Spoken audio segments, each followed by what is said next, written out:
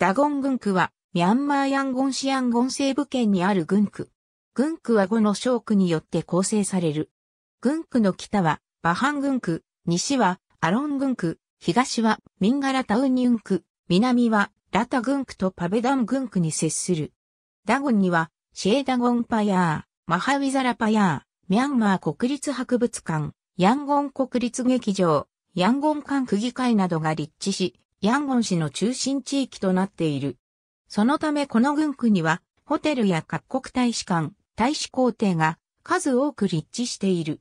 また軍区内にはダゴン第一基礎、教育高等学校とダゴン第二基礎、教育高等学校があり、ミャンマーの公立高校のトップ校と知られている。2011年2月6日、ショッピングセンターとマンションの複合施設、東院センターがこの群区で開業。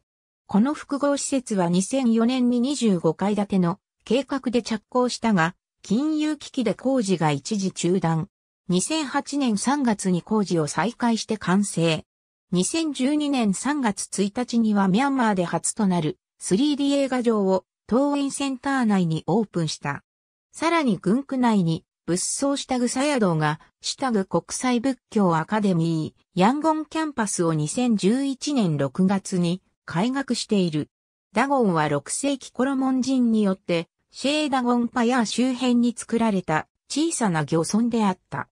この漁村は川を挟んで対岸にある商業都市、丹林の周辺集落の一つであったが、シュエダゴンパヤーがあったことで集落の大きさ以上に文化的な重要性の高い集落であったとみられる。1755年アラウンパヤ王がダゴンを掌握し、争いの終結を意味するヤンゴンと改名して、ヤンゴン開発を行い、アロン、パペダン、チャウタダ、ボタタウンの集落を編入していった。イギリス統治時代は、ダゴンは中心市街地に近く、非常に栄えた地域であった。